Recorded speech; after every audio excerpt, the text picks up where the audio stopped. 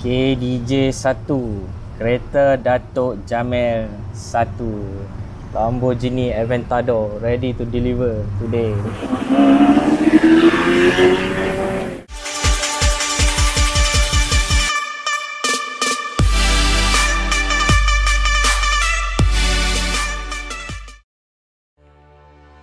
Hai Assalamualaikum. Uh, Saya Azim uh, Pengurus cawangan di Rama Brothers Motor cawangan Alostar. Kami di sini uh, menjual kereta-kereta import daripada mostly daripada Jepun dan uh, UK. Okay, kami merupakan uh, pengimport sejak tahun 1980 uh, lagi dan antara company yang terawal lah di Malaysia uh, dalam bisnes uh, Recontron. Antara model-model uh, yang kami import adalah termasuk uh, Toyota Velfire, Alphard, Toyota Wish, Harrier um, dan kereta-kereta sports. Uh, termasuklah uh, Lamborghini uh, Huracan, uh, Nissan GTR, uh, Toyota uh, GT86 uh, dan yang paling latest sekali uh, Lamborghini Aventador untuk customer VVIP kami Datuk Jamil Baharu. Uh, jadi TJ uh, pernah tanya saya lah uh, dia punya hasrat dia untuk uh, pakai uh, supercar. Jadi ada few model lah yang saya recommend untuk TJ pada awal dia masuk uh, Ferrari 488 GTB dan uh, McLaren tapi at the, at the end TJ decide dia nak kena beli Aventador juga. Pasal dia kata Aventador ni memang dream car dia lah. Yang dia ambil ni lah yang warna merah ni. Uh, tahun 2017 11 unit Aventador S.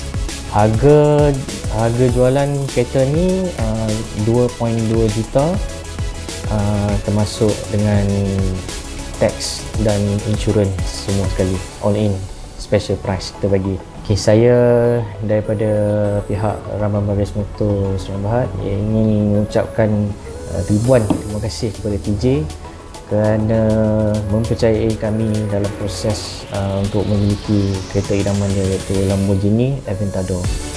Jom kita pergi tengok kereta dia untuk deliver hari ini. Okey, kereta yang kita order hari ini ready untuk to deliver. Jom kita tengok. Ini color uh, special special color code lah daripada Lamborghini. Nombor plate KDJ KDJ 1. Alright, ha. Owner pun dah sampai dah. Assalamualaikum. Kita serah. Assalamualaikum. Assalamualaikum. Sudah ready? TJ, tanah TJ. Alhamdulillah ini kereta idaman. So okay. ni. Kunci dia. Kereta ni 690 horsepower. Nak pergi mana? 690 horsepower. Bawa elok-elok. Aduh.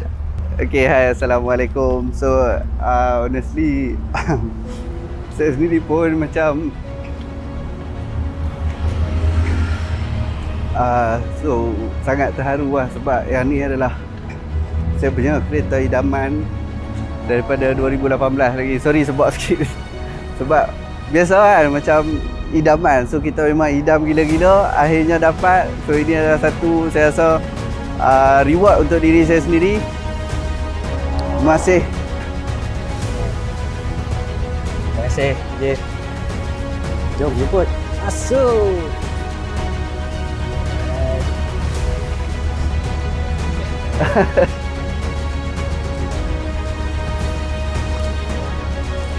Star.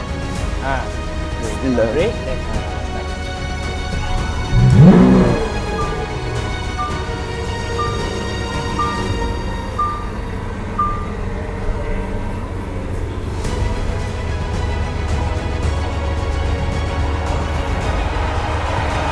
Then,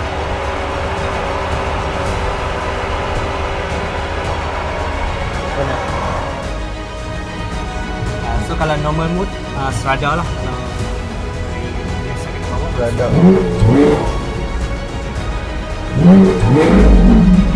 Oh, Ego, ego, ego. Ego. Ego ni dia macam personal setting lah. Oh. Ha, personal setting.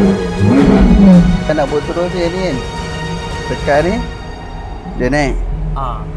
Okay, yang atas tu, yang kiri sekali dia punya dapat turun dia punya Cermin. lah. Ha, sebelah tu dia punya lifting system lah turun dan naikkan kereta ni lah. So kat sini dia ada uh, empat driving mode. Strada yang means yang normalnya, uh, Okay. sport mode dan yang yang Corsa ni yang paling Paling kasar ah. uh, paling racing mode dia lah. Dan bila kita tekan di Corsa tu, automatic dia punya engine tuning dah dah Lain untuk racing yang bunyi pun dah lain dah cuba cuba rem tengok dekat Corsa. Oh. Ini memang lembu gila ni. Yang ni mood lembu gila kami panggil.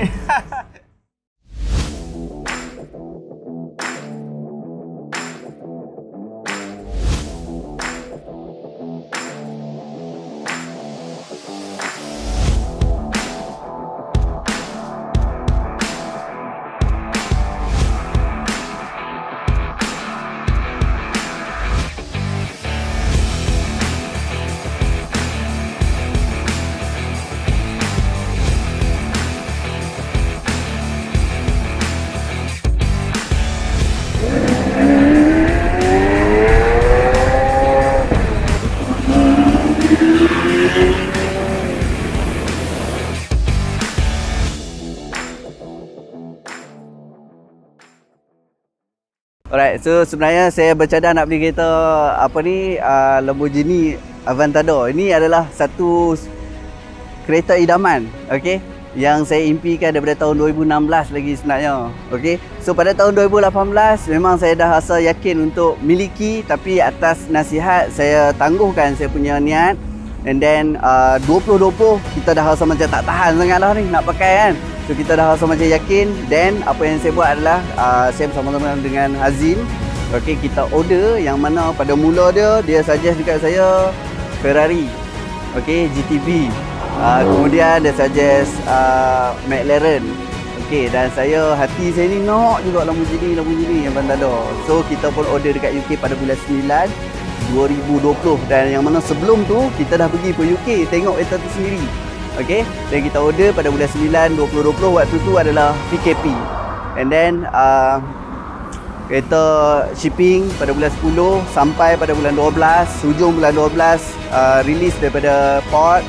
So sampai dekat kedai uh, Tak silap saya 24 Ataupun hari, hari Christmas tak silap saya 25 hari bulan Disember 2020 So ada cabaran sedikit Sepanjang 2 bulan Baru kita boleh release kereta daripada dealer sebab loan. Saya ada masalah sikit untuk uh, kelulusan daripada pihak bank.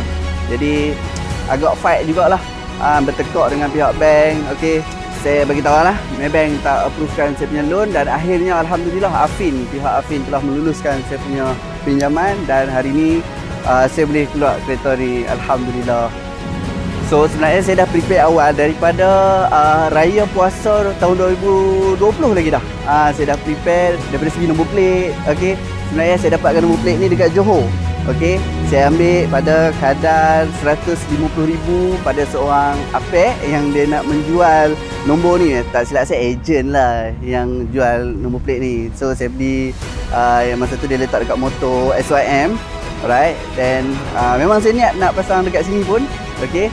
So hari ni Alhamdulillah sekali lagi uh, uh, saya story kepada anda. Kita dah pindahkan uh, nombor tu yang sebelum ni duduk dekat kereta kita dah uh, sorry yang sebelum ni duduk dekat motor kita dah pindahkan dekat kereta ni. Okey uh, Alhamdulillah saya rasa sangat bersyukur hari ni. Saya rasa sangat excited saya rasa sangat gembira sampai satu tahap saya tak boleh nak tahan sebab sebentar tadi. Uh, so itulah uh, susah saya ni nak mengalirkan air mata. Dia berlenang sikit lah. Uh, tapi itu menanda menandakan yang saya sangat happy dan excited dah tak tahu nak nak cakap apa lagi dah. Kan ni adalah satu reward yang paling besar bagi saya sepanjang sejarah saya uh, berniaga ataupun sebagai seorang trader